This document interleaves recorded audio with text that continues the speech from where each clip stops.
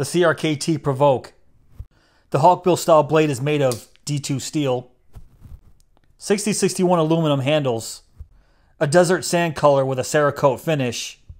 A really interesting hidden pocket clip.